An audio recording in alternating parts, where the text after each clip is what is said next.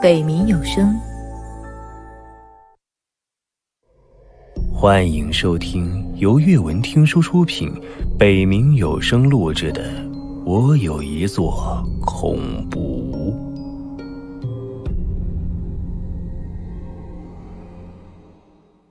第一千零五十一集：消失的简介。想获得一个陌生人的信任很难，但陈哥有个优势。那就是他在韩江公安系统中的声誉，有法制频道担保，大部分的人都会愿意去相信陈哥。女人的态度稍微缓和了一些，她看着一条条新闻，甚至怀疑这些是伪造的。她又拿出自己手机上网搜了一下，结果发现了成哥的本职工作——鬼窝老板。这下更有意思了。我没骗你吧？你还蛮出名的。女人看似温柔。但是相处了一段时间后，陈哥发现温柔只是他的保护色。这个女人并不愿意去相信别人，她一直以来似乎都是在依靠自己。现在我们可以好好谈谈了。陈哥看向那个孩子，他是从什么时候变成这样的？我也不知道是从什么时候开始的，有可能他一出生就与众不同。我并不觉得这是他的不对，应该只是我们没有学会接纳他的方法。孩子是女人心中最柔软的一个点，是让她变得坚强的一个点，也是最让她揪心的一个点。医生说我的孩子是自闭症，建议尽早治疗。但是我感觉，唉，算了，医生说的应该没错，是我想太多了。女人隐藏了某些东西，她还是不愿意说出来。陈哥也没有强求。能带我去这孩子平时生活的地方看看吗？陈哥想要去对方的家里。看看能不能找到什么线索，但直接这么说太不礼貌，所以他用了更委婉的一套说法。这倒没问题，不过我该去上班了，中午见，怎么样？女人递给陈哥一张名片，然后一刻也不愿耽误，快步离开了。房屋中介。陈哥看了一眼名片，将其放入背包。新世纪乐园也快要开门了，我自己进入水库里面不太现实。他提着背包找到了一个背阳的地方，翻动漫画册，翻出了许音、小布、门南和水鬼红衣。有个事情想拜托一下你。陈哥盯着水鬼红衣，等会儿，你带着他们三位红衣一起进入水库，我需要你们寻找一副棺材，那棺材下面有一个大洞，你们进入洞中探查一下，看看里面有没有藏什么东西。我独自去就可以了，没必要劳烦他们。水鬼红衣态度很好，跟初见成哥时简直天差地别。你不要以为我让他们跟着你，是担心你逃走，我是想让他们保护你。那个洞穴非常危险，不要大意。陈哥将他们送入了水库，然后就站在水库旁边等待。足足过了半个小时，几位红衣还是没有回来。难道出意外了？不可能啊！有小布在，就算是遇到了顶级红衣，也可以全身而退啊！又等了很久，就在陈哥翻动漫画册，准备让其他红衣去探查的时候，空气中血腥味变浓郁。几位红衣悄无声息的出现在了陈哥身旁。有发现吗？陈哥见水鬼的脸色非常差，心中隐隐有一种不好的预感。那个洞好像连接着寒江的其他几条大江，内部岔路很多，我们走了很久也没有走到头。门南第一个开口，而且洞内似乎存在着一种可怕的东西，就连小布都感受到了威胁。连小布都感觉到了危险，这可不是普通红衣能够做到的。散发出那种恐怖气息的东西，好像不是红衣。水鬼红衣脸色很差，他一开始还想着找机会逃跑，进入洞穴后瞬间就老实了，紧紧跟在小布身后。那你觉得可能是什么？不清楚，但应该不是鬼和执念。对了，我们还在洞穴里找到了这个。红衣水鬼拿出了两个手工刻成的粗糙塑像，一男一女，上面模模糊糊刻着陈哥父母的名字。你们是在洞穴哪个位置找到的？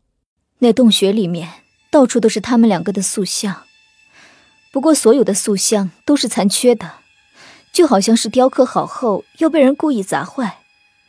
我们也是找了很久，才找到这两个还算完整的。陈哥看着塑像上自己父母的名字，沉默不语。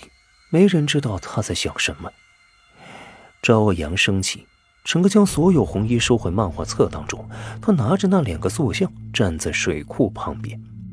我之前听影子说过一句话：明胎江上可能会以整座城为母体。水太深，一眼看不到底。清澈的表面下，谁也不知道隐藏着什么恐怖的东西。明太应该。也很想有自己的父母。收起那两个塑像，陈哥转身离开。影子所有的变化，都是从进入门后世界开始的。恐怖屋里的那扇门，彻底改变了他。等明台任务结束，我也推开那扇门，进去看看吧。打车回到新世界乐园，陈哥给员工们化了妆，然后他就进了员工休息室，倒头睡去。他必须养足精神，因为今夜就是最后一个夜晚。等太阳再次升起的时候，那个睁开眼看到阳光的人，可能就不再是他自己了。恐怖屋已经走上了正轨，不需要他再多费心。鬼怪员工们已经习惯了这里的生活，他们的生命以另外一种形式得以延伸。下午一点钟，陈哥被闹钟惊醒。他提上背包，匆匆离开了员工休息室，根据名片上的地址，来到了老城区。兜兜转转，没想到又回到了这里。老城区很大，陈哥之前也只是去过一小部分。他拿着名片，边走边询问，终于在一个很破旧的小区旁边找到了女人工作的地方——九红房屋中介。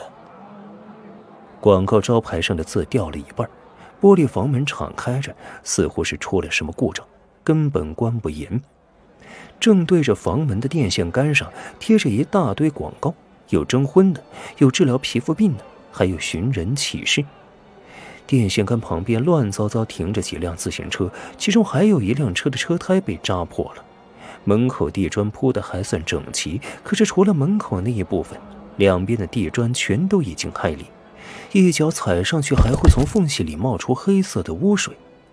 随着寒江不断发展，老城区很多地方都已经旧改，但这里显然是个例外。陈哥拿着名片朝着屋内看了一眼，破旧的木质沙发上，一个老人正在唉声叹气，他手中捧着一杯浑浊的茶水。屋子里好像有人在争吵，声音很大，就算陈哥站在门口也能听得清清楚楚。大姐，你给我推荐那个地方真的不适合我，今天说啥你都要给我退了。是啊，我们也不是不讲道理，问题是那样的房子谁敢住啊？退房，不要找理由啊，我们也不容易。你要坚持不退，那我们就天天过来闹。几个人围在服务台那里，群情激愤，似乎是被房屋中介给骗了。大爷，他们在吵什么呢？陈哥悄悄走进屋内，并没有通知工作人员。而是自来熟的坐到了大爷身边。你也是来租房的吗？对啊，要不我来这里干什么？陈哥很是好奇的朝服务台那边看了一眼。小男孩的妈妈表情苦涩，不断跟周围的人解释着什么。哎呀，千万别来这里租房，赶紧走吧！大爷小声提醒了一句。为什么呀？陈哥随口问道。不要贪小便宜。这里的租金虽然是附近最便宜的，但是……大爷挠了挠头，最后憋出了四个字：“哎，一言难尽啊。”您别说一半留一半啊，搞得我越来越好奇了。主要是我也不知道该怎么说，反正他家的房子就是很怪，总会出各种各样的事情。以前还爆出过他家做凶宅生意。大爷脸上的皱纹挤在了一起。凶宅你知道吧？我们老板把死过人的房子低价出租，还不告诉租客。结果凑巧了，那个租客是个什么鬼故事爱好者，天天在网上搜索真实灵异故事。结果有一天晚上，他在网上看了一篇报道，报道里选用的图片就是他家。那可真是太刺激了！陈哥发现这大爷还蛮有意思。连真实灵异故事都知道，哎呦，岂止是刺激啊，差点没把他给吓死。自己睡过的床上曾经躺过尸体，自己平时泡澡的池子泡过死者，搁谁谁受得了啊